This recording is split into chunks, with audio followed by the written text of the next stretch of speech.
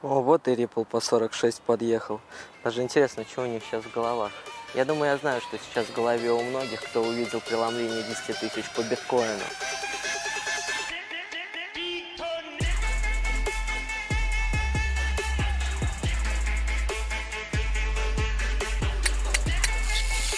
Но я хочу, чтобы ты сконцентрировался на мне.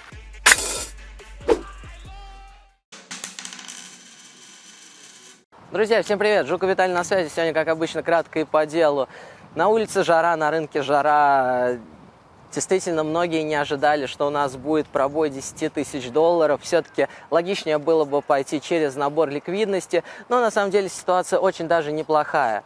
Для тех, кто не в курсе, я сделал закрытый канал с ежедневным обзором рынка. Да, кстати, парни просили передавать привет выпуск, нас уже там более 100 человек. Но я обещал свою закрытую группу не нахваливать при каждом удобном случае. А, действительно, от уровня 9400 я все-таки по биткоину ждал, что будет набор ликвидности.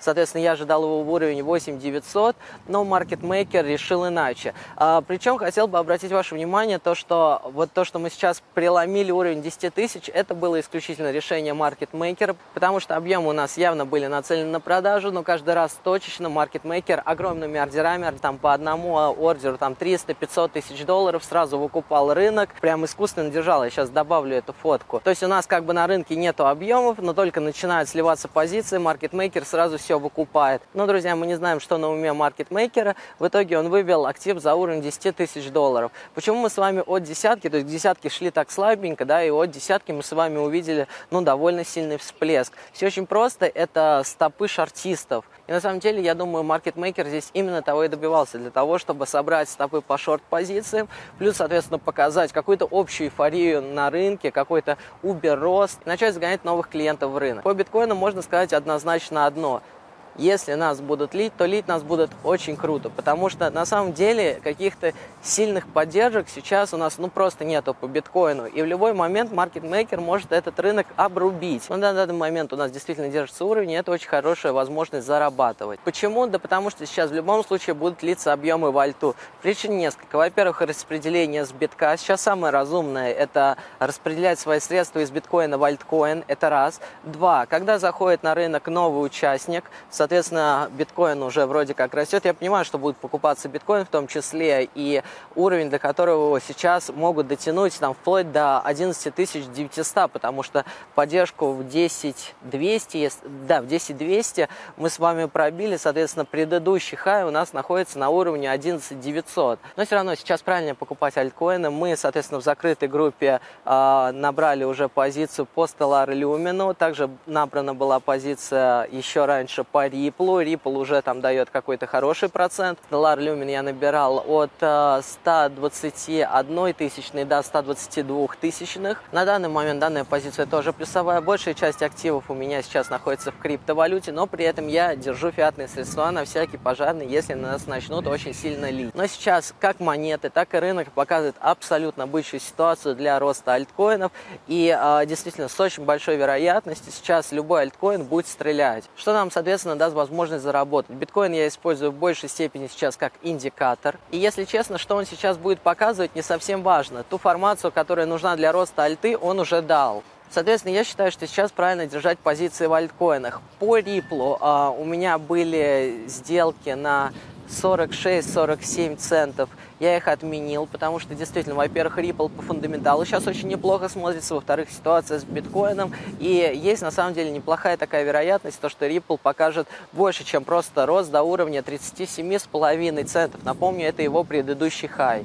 Цели по Stellar Lumen следующие. Соответственно, если мы сейчас остаемся с вами внутри... Чего? Про трейдинг криптовалют. Да, блин, научи заработать. Чего? Ну, подписывайся. Вот. Вот так вот меня все время просят, помоги заработать. Я изо всех сил, конечно, стараюсь, но дай бог. Ладно, друзья, смотрите, цели по а, Stellar Lumen, если мы рассматриваем локальный канал, то это уровень а, 12,9. А, если смотреть Stellar Lumen более глобально, то там может быть прострел вплоть до 14 до 15 центов. И на самом деле сейчас сделки по нему я не ставлю, потому что действительно на этом росте может Stellar Lumen показать очень хороший плюс, учитывая то, что уже дал какой-то процент, все равно я считаю, что лучше подождать. Также Ripple. По Ripple я, соответственно, поставил будильники на уровень 47 центов. Очень важно, как он себя там будет а, реализовывать, то есть будут его там сливать или все же а, будет меняться настроение по рынку и его будут ждать выше. Также, соответственно, я держу позицию по эфиру, но с эфиром я готов работать от 300 130. Это будет довольно неплохой уровень, чтобы там рассмотреть, возможно, какие-то продажи для перезакупа, потому что у эфира на самом деле тоже довольно не хреновый такой потенциал. Ну и сейчас такой рынок, который дает возможность реально поднять какой-то процент своего депозита, да и в принципе преодоление 10 тысяч долларов, это очень круто, потому что, во-первых, сейчас это все муссируется в СМИ, сейчас я более чем уверен, уже начнут новые игроки на рынок приходить, если вы не только вчера или позавчера узнали о биткоине, уже во все гуглите, что такое биткоин, кто что о нем рассказывает. И это показывает, что актив жив, и у актива есть будущее. Но надо обязательно учитывать тот факт, что такой сильный рост не может быть без коррекции, надо понимать это. Если вы себе нафантазировали уровень 15 тысяч долларов, не забывайте про ситуацию с Ripple на 3 доллара и с биткоином, когда он был 17, когда все его ждали по 50.